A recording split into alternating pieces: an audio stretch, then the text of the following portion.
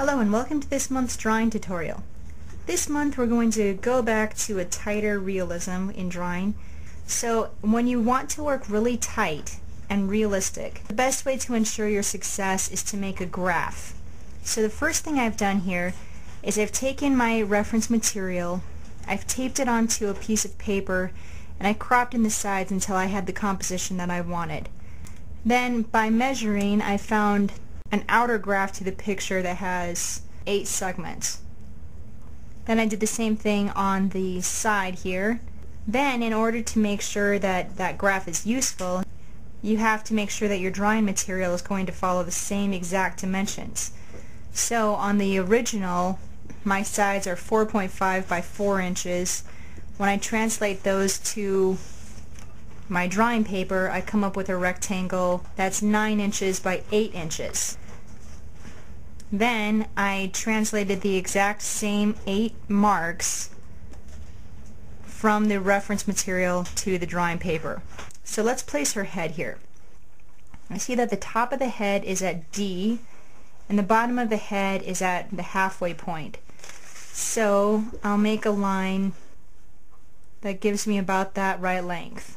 If I take a straight edge and come in, the first thing that I hit is this point right here, which lines up almost perfectly with C. And on this axis it would be C2. So here I'll come over to C2, give myself a little bit of a reference. The chin is at D4, I already have that. The nose is at 3 and almost D, but not quite. So then you can start to sort of connect those and sketch out the outside shape of the head, just like this.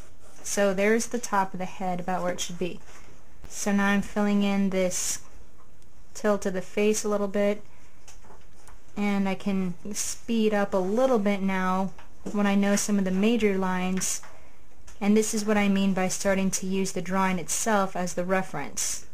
But let me go off camera now so that you don't fall asleep and we'll come back when it's ready to start shading. Now after taking a few hours and using my graph to lay down these large shapes, this is the outline that I've come up with. Now there are a few elements that make this drawing especially tricky. There are flowers in the foreground that are lying over her skin and there are these really bright light flyaway hairs and this halo around her face and behind her face right here. And we want to protect those lights in our drawing. And the best way to do that is to use a stylus and some Frisket film. This is Frisket film. So first of all, I'll show you how to use the stylus. What I'm basically doing here is indenting the paper so that when I start to lay down my graphite, it's going to skip right over the top and I'll be left with some bright white highlight lines. So take your time, be careful, and be certain of the lines that you indent. Now for the flower, I have to make sure that the flower is dark enough that I can see through the sticky frisket paper.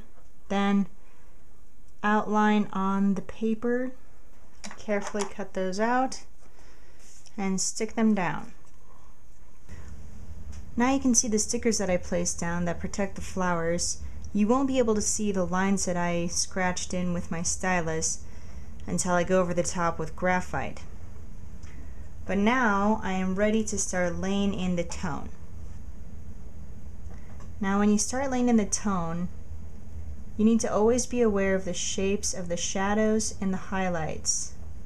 There's a shadow shape that goes all the way over her hair here and that extends clear down into her face and arm. So see that as one big shadow shape and put it down as one large shape. And right now I'm just concentrating on that base tone of the flesh tone and the color of the hair. I'm avoiding the highlights, but I'm not worried about any of the details. Ponytail melds into the shirt, which melds into the arm. And here you can see how I go right over the top of that flower. Thanks, Masket Film, because now I don't have to worry about outlining that flower. I'm going into the hand And you see how this is still an extension of that same large shadow shape.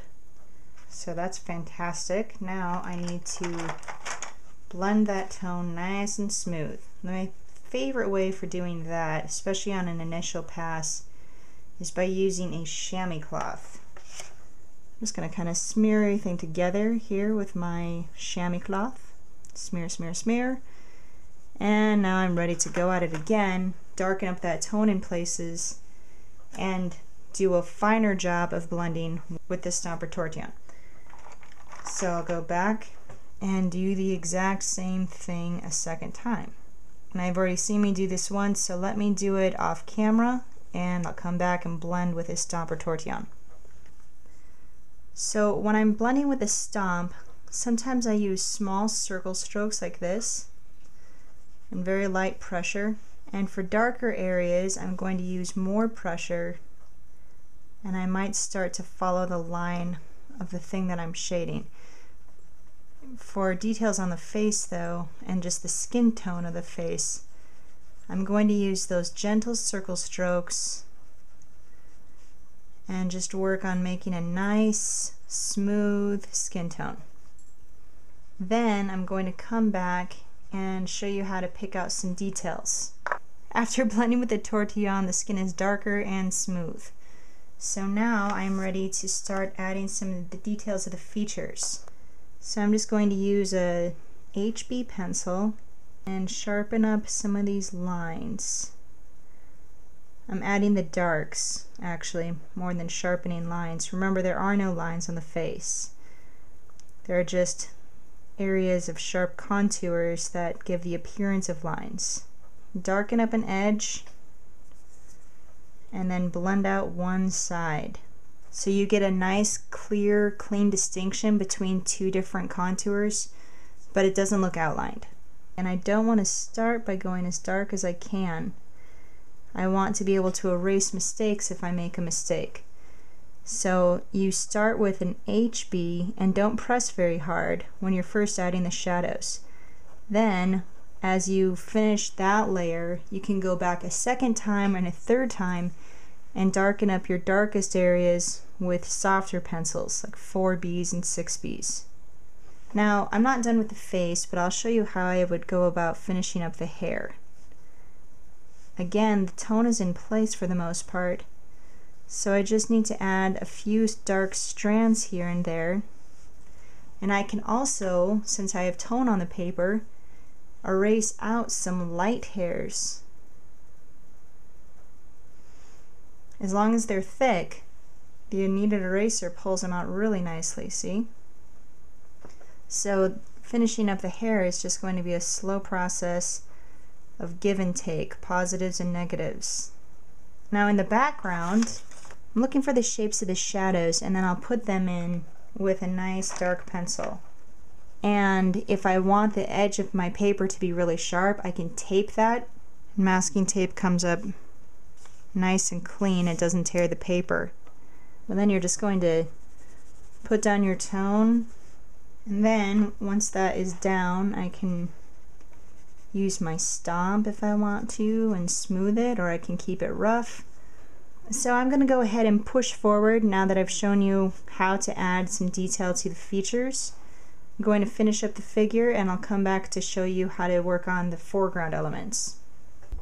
To put in those grasses, I'm going to use a nice sharp HB pencil and I'm going to work on defining some of them with line and relying on that indented line to help define others. So hopefully here you can see those indented lines popping out. The more tone I put over the top, the brighter these lines are going to appear. See, there's this kind of a scribbly light area. So I'm going to squint at it, hold my reference material nice and close to the paper. I'm just creating a broken pattern that will read as foliage because I'll have some right here that are highly defined. I'm just squinting at that paper, squinting at my reference material, looking for some shapes. Okay, so let me take this area off camera, fill in the foreground here, And I'll also show you what I'm going to do in the background, which is these grasses. I'll get some tone on the paper in places like this, blend that smooth, so I get an area sort of toned down. And once I have tone on the paper, I can use my kneaded eraser and then erase out a few blades of grass here and there. And then I can emphasize some of those blades of grass by just darkening one side and then using a stomp to smooth that out. So yes, it is going to take some time, but again, don't drive yourself crazy by trying to put in every single blade of grass. Just put in enough so that you give the impression and then stop. And remember the rule of thumb, it is better to underwork than to overwork. So err on the side of fewer details, relying on the eye to fill those in. Okay? So I'm going to take a few hours now, finish this up, and I'll come back and show you what I end up with. Alright, here is the drawing after doing some work in the foreground and putting in that gray base in the midground.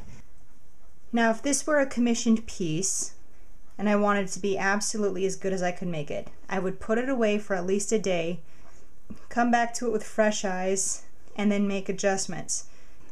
But for the sake of this tutorial, I'll say that I am done and I'm going to peel up the little areas that I protected with Frisket film.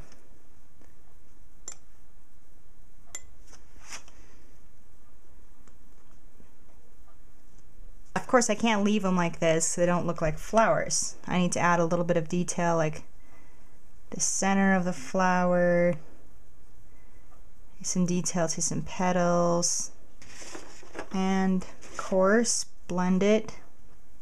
So I'll call that good on the flowers. Peel off my tape border and then I will see for the first time how it would look with nice clean edges. Now this is the finished piece after removing the tape. So you can see that by preserving your whites, either by working around them, indenting them into the paper with a stylus beforehand, or preserving them with frisket film, you get really nice professional results in a light struck figure. And depending on the amount of time you put into it, your results are going to be really nice and professional as well.